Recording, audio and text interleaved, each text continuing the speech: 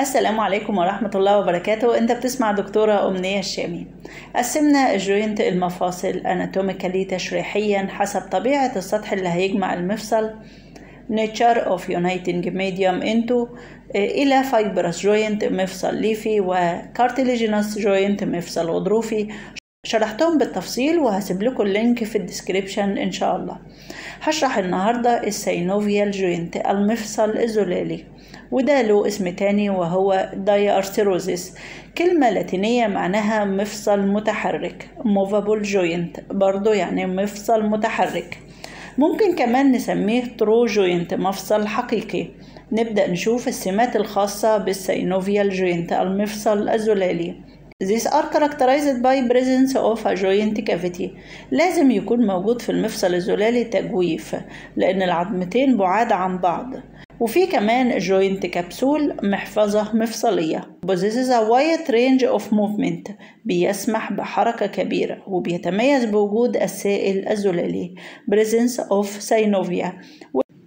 والمفصل ده بيتميز بوجود سطح تمفصلي في جزء معين والسطح ده بيكون مغطى بغضروف مفصلي presence of articular surfaces and cartilage. ونشوف إيه هي ال structure of synovial joint. تركيب المفصل الزلالي اللي بيسمح له بيهيئه إنه يكون مفصل متحرك. عندنا essential structures تراكيب أساسية تراكيب لازم تكون موجودة في المفصل الزلالي. في ال synovial joint لو التراكيب دي غابت خلاص ده مش هيبقى synovial joint مش هيبقى مفصل زلالي.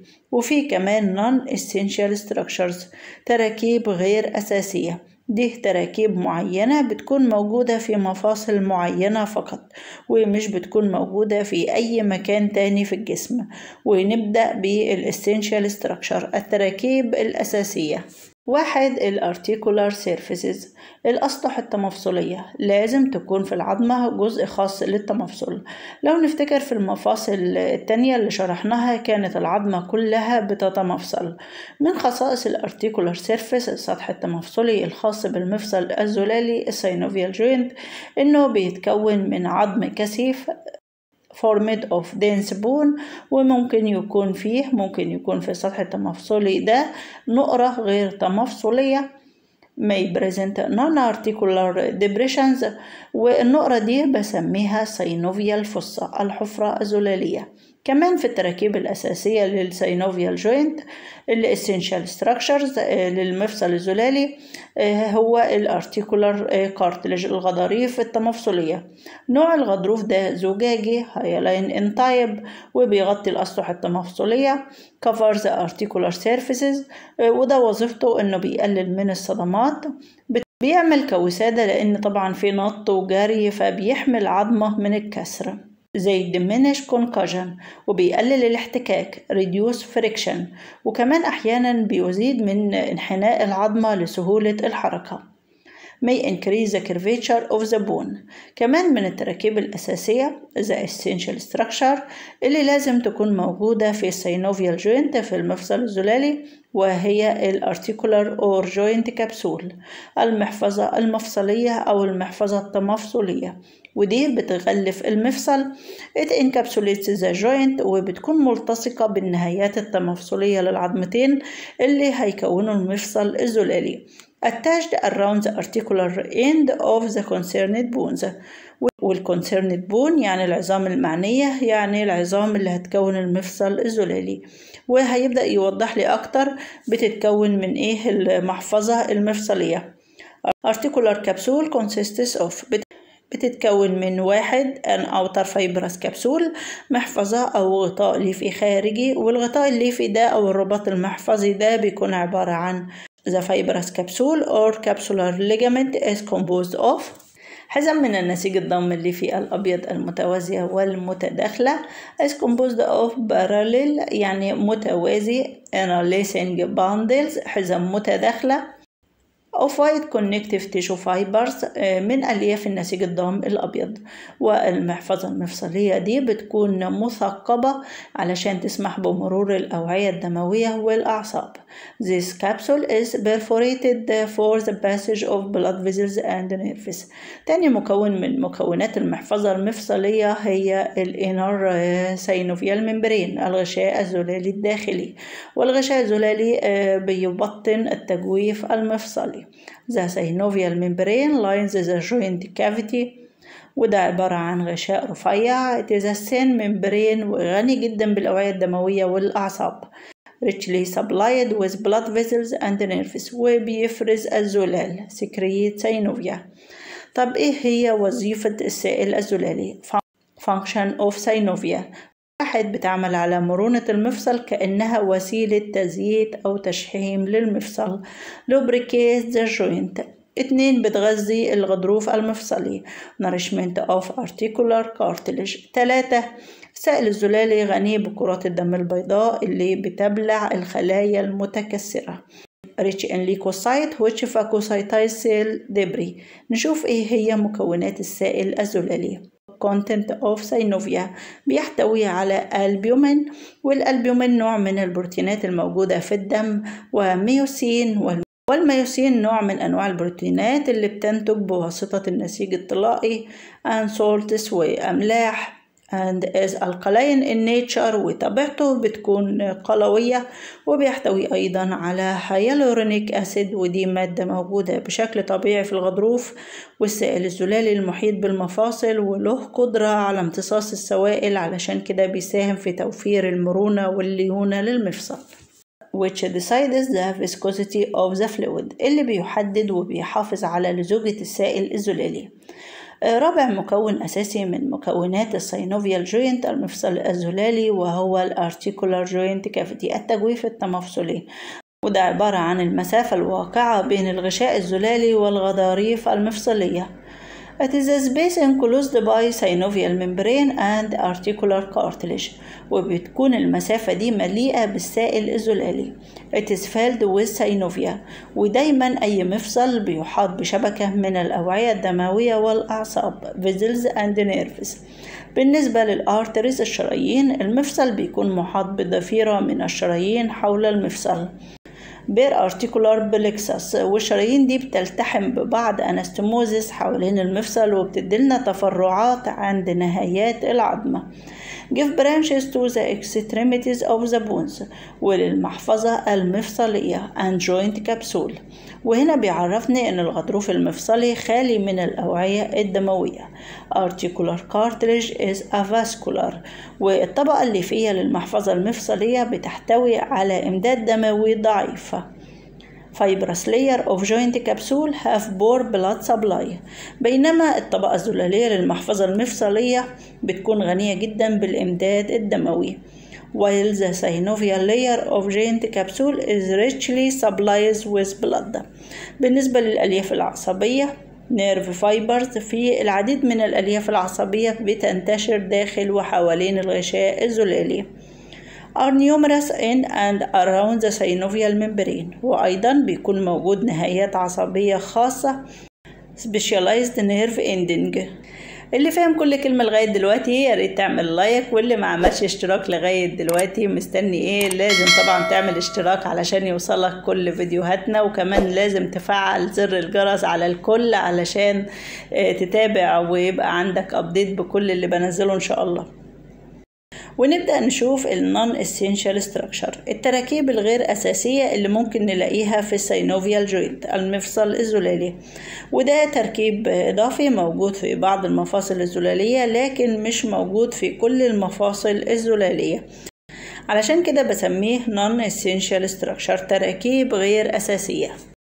أول تركيب غير أساسي non essential structure هو ال articular menisci الهلالة المفصلية. دي موجودة في ال stifle joint مفصل الركبة. وعارفين إن ال stifle joint مفصل الركبة بيتكون من النهاية السفلية لعظمة الفخذ. Distal extremity of femur مع الطرف العلوي لعظمة قصبة الساق. Proximal extremity of tibia. لكن المشكلة هنا إن النهاية السفلية لعظمة ال femur الفخذ مع الطرف العلوي لعظمة ال tibia مش ملائمين لبعض. مش متكيفين مع بعض. هتلاقي ال femur الفخذ convex محدب. لكن المشكلة إن ال tibia عظمة قصبة الساق مش concave مش مقعرة عشان تتكيف مع ال femur. ال tibia هتلاقي الطرف العلوي بتاعها nearly flat تقريبا مسطح. فربنا سبحانه وتعالى خلق طبقة من الغضاريف ال cartilage مهمتها إنها بتعمل adaptation تكيف للسطح التمفصلي. Adaptation for articular surface. الطبقة دي بنسميها cartilaginous plate قرص غضروفي ليفي بتدخل interposed بين سطحين تمفصليين. Between the two articular surfaces علشان تعمل تكيف بين الأسطح التمفصلية. For adaptation of articular surfaces والarticular menisci الهلالة المفصلية بتقسم التجويف المفصلي جزئيا. زي divide the joint cavity partially. يبقى ال articular menisci الهلالة المفصلية هي حالة خاصة فقط بال stifle joint بمفصل الركبة مش موجودة في أي مفصل تاني. بنشوف تاني non essential structure تركيب غير أساسي لل synovial joint للمفاصل الزلالية وهو ال intervertebral disc القرص البين فقاري. وده عبارة عن قرص غضروفي ليفي fibrocartilaginous plate بيوجد بين الفقرات في العمود الفقري in between the vertebra in vertebral column وده بيعمل كوسادة غضروفية ليفية. It act as fibrocartilaginous cushions بيعمل كجهاز ممتص للصدمات. Serving as shock absorbing system. وده بيقسم التجويف المفصلي كاملا إلى جزئين. They divide the joint cavity completely into two compartments. التجويف المفصلي هتلاقيه مقسوم من الداخل تماما إلى جزئين جزء فوق وجزء تحت. ثالث تركيب غير أساسي عندنا وهو المارجينال لب لو ترجمناها حرفيا هنلاقيها الشفة الهامشية. ترجمة ملهاش أي علاقة بالموضوع لكنها عبارة عن حلقات من الغضاريف الليفية are rings of fibrocartilage بتحيط أو بتطوق أطراف التجويف المفصلي. Encircle the rim of articular cavity وده بيكون موجود في ال hip joint مفصل الورك. عارفين إن ال hip joint مفصل الورك ده بيتكون من head of femur رأس عظمة الفخذ و وال acetabulum of os coxae الحق الخاص بعظمة الورك. ومهمة ال marginal lip إنها بتزود ال concavity تقعر الحق concavity of acetabulum to include the head of femur علشان يحتوي على رأس عظمة الفخذ فيعمل fitting تثبيت لل head of femur رأس عظمة الفخذ في ال acetabulum في الحق كويس جدا. زي enlarge the cavity بيوسع التجويف. And tend to prevent the fracture of the margin. بتمنع كسر الأطراف الأطراف بتاع ال acetabulum لأن حافة الحق زي ما إحنا عارفين بتكون ضعيفة فممكن تتكسر. وال marginal lip بتعمل لها support بتدعمها بتقويها. يبقى ال marginal lip موجودة في ال hip joint مفصل الورك بالتحديد مش موجودة في أي مكان تاني. رابع non essential structure. رابع تركيب غير أساسي ممكن نلاقيه في المفصل الزلالي في ال synovial joint وهو ال ligament أربطة المفاصل. كل المفاصل فيها ligament أربطة ما عدا مفصل واحد فقط مش موجود فيه أربطة وهو ال shoulder joint مفصل الكتف. بكده بيصبح ال ligament الرباط أو الأربطة المفصلية non essential structure تراكيب غير أساسية. عارفين إن ال shoulder joint مفصل الكتف بيتثبت بمجموعة من العضلات غياب ال ligament الأربطة من مفصل واحد خلاها non essential structure خلاها ضمن التراكيب غير الأساسية. خلاص بقى ممكن الاستغناء عنها. وبيوصف ال ligament الرباط إنه strong strand خيوط قوية عادة بتتكون من أنسجة ليفية بيضاء usually composed of white fibrous tissue ومهمته إنه بيربط العظم مع بعضه which bind the bones together وفي بعض الأحيان الأربطة بتكون عبارة عن أنسجة مرنة. In some cases they made up of elastic tissue. والأربطة الليجامنت بتصنف ثلاث تصنيفات. The ligament may be the following varieties. أول نوع وهو ال extracapsular ligament رباط محفظي خارجي أو بيسمى ال collateral ligament الرباط الإضافي. ده بيوجد على جانبي المفصل. Present on either side of the joint رباط خارج التجويف المفصلي ولذلك بيسمى ال extracapsular ligament خارج التجويف المفصلي. النوع الثاني بيسمى ال intracapsular ligament. يعني رباط داخل التجويف المفصلي أو بيسمى ال articular ligament رباط تمفصلي ناخد بالنا هو رباط داخل التجويف المفصلي داخل ال joint cavity لكن خارج ال synovial sac خارج الكيس الزلالي لأن ممنوع تماما أي تراكيب تكون موجودة داخل ال synovial sac داخل الكيس الزلالي. الكيس الزلالي فقط بيكون موجود فيه ال synovia السائل الزلالي. These are the connecting band. عبارة عن أحزمة رابطة بتكون داخل التجويف المفصلي. Remain within the joint cavity وبيغطى بالغشاء الزلالي. covered by synovial membrane وده مثال له ال cruciate ligament الرباط الصليبي. الرباط الصليبي عبارة عن رباطين متصالبين مع بعض داخل المفصل داخل ال stifle joint مفصل الركبة لكنهم خارج ال synovial sac خارج الكيس الزلالي. تالت نوع وهو ال interosseous ligament رباط بين عظمين أربطة بتربط عظمتين مع بعض ودي موجودة في ال fibrous joint المفاصل الليفية. زي الموجودة بين ال great metacarpal bone عظام المشط الكبيرة وال small metacarpal bone عظام المشط الصغيرة. في الحيوانات الصغيرة بيكونوا مربوطين مع بعض برباط ligament من أنسجة ليفية من fibrous tissue وال fibrous tissue النسيج الليفي ده بيحصل له بعد كده ossification تعظم وبيتحول إلى bone عظمة. بما إنه رباط بين عظمتين فبيسمى ال interosseous ligament رباط بين عظمين. لكن ناخد بالنا ده مش موجود في ال synovial joint في المفاصل الزلالية. بكده نكون وصلنا لنهاية حلقتنا واللي محتاج يعرف إيه هي ال classification of synovial joint ينتظر الحلقة الجاية واللي لسه ما وصلش لل link قناتنا التانية لقناة محب الله ورسوله. طبعا خسران كتير. ال link موجود في ال description وفي التعليق المثبت. أتمنى لكم كلكم النجاح والتوفيق. والسلام عليكم ورحمة الله وبركاته.